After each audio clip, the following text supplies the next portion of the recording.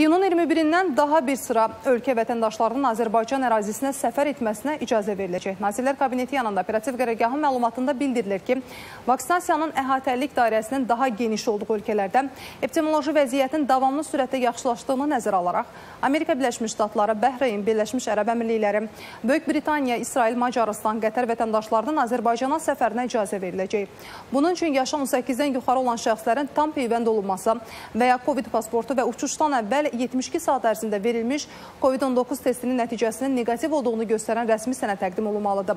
1 yaşdan 18 yaşadakı olan sərnişinlər üçün isə uçuşdan əvvəl 72 saat ərzində verilmiş COVID-19 testinin nəticəsinin neqativ çıxdığını təsdiq edən rəsmi sənə tələb olunur.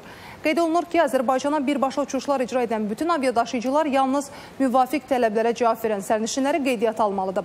Müəyyən edilmiş tələblərə cavab verməyən sərnişinlər ölkə ərazisinə buraxılmır və aviadaşıyıcının hesabına həmin reyslə geri qaytarılır.